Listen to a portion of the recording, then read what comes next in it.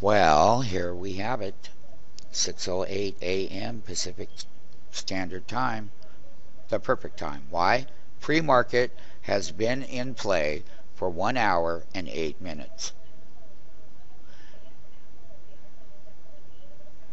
22 minutes will be the opening bell, and you've got two stocks on the gap open list Autodesk, earnings related, TSRA. Those are the only two that qualify at 1.00 ratio or higher. We all know.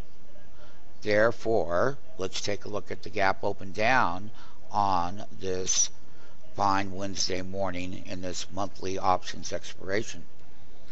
Gap open down and gap open up. Let's see here. Price line. Whoa, CME. Left elbow, Google 2.82. Look at that bull, TQQ, down $1.58 right here. Right here. Amazon 1.37. So you got Apple. But look at the contraction, the contraction going into the opening bell with the futures down with the data that came out, S&P down 1190, Dow futures down 87 right now. That's how it is in pre-market. Uh, Nasdaq is down 12.25 or 0.53 percent. Gold, hey, it's down minus 8.5 right now. And so one of the things that we're looking at is from our October lows up to the high reversal count one is that the rebound has not been there substantially enough across the broader part of the market to move those up and break through those key resistance levels in the price action in your platform, the uh, SMF MMT uh, platform. Price line right here Take a look at that, and what you're looking for is the contraction, and they turn around and they break higher than the previous bar, and they don't look back, and you have to have your qualifiers, and those are your three teeny price action breakout points. So Patini's 80 cents, and that's times three. Well, that's that qualifier in some of the higher beta names. So when we come down, the price action in Google will be much stronger than other periods. And what we're going to be learning is how you take that close, 616.56 to the bid. And how are they going to mark down that 605 call? the broader market is going to have to get to a point where it has to hold the higher price action levels consolidate and break higher.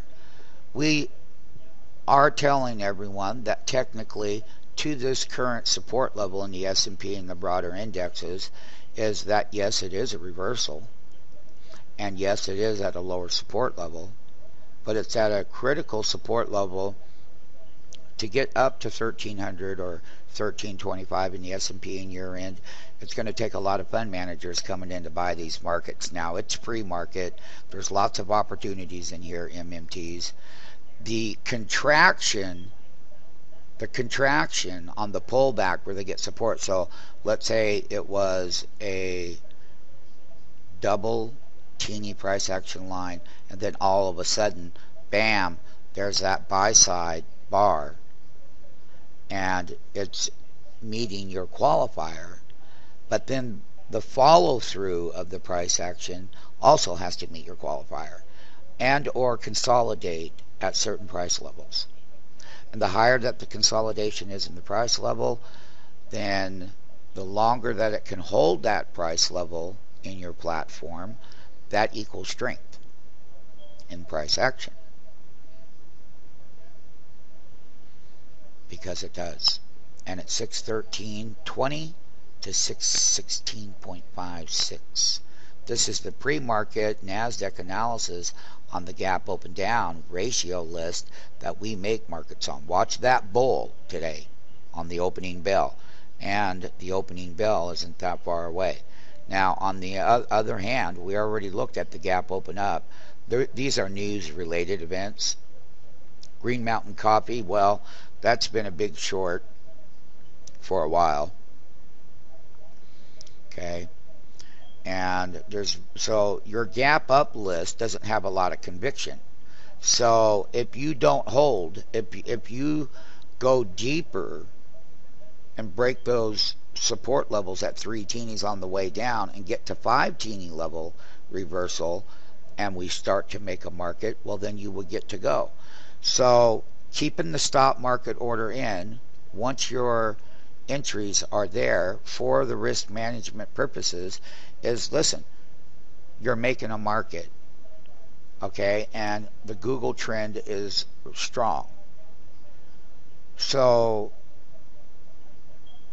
we will do our best for what these contracts, these weeklies, 1119, 610, 605 is up there. Here's a 620. That's a 1217 one. And I'm going to go ahead and bid on this one. If this trend is strong, I'm going to go ahead put a limit order out here right now on this one at 13.90 cents on one. Okay? Yesterday's low, 14.7. I'm going to conclude the pre-market 11 2011 at 6:15 a.m. Pacific Standard Time. Gap open up, gap open down list on the Nasdaq comp. High beta gap down. Um, that bull will have to hold support because when reversals happen, you make lower lows in the trend. And then, of course, you always have that reversal. And then you go up. And what we've done so far from the October lows of 1075, that was our target, and the current highs in the S&P. Look at our S&P 500 videos. We do have a reversal to a support level that has to hold, and that's above 1257